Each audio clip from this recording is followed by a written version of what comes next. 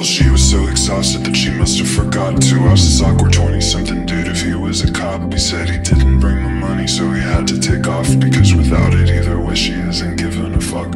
So after locking up, she sat in bed and she thought about the timeline of events that follows, hearing a knock, looking through the peephole, trying to see what he brought. Is it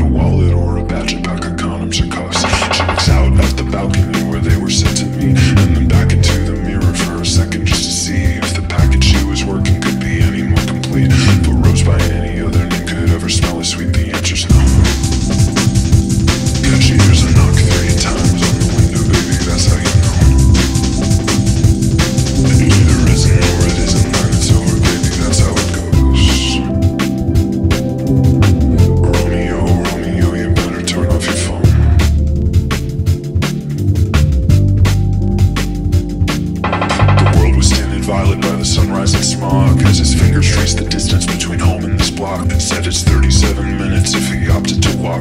Till the red pin once again was covered by the blue dot. And his eyes are set on Julie and just laces and knots. He starts to say, babe, that was great, but now I gotta take off. There's a distance in her eyes as if he's already gone.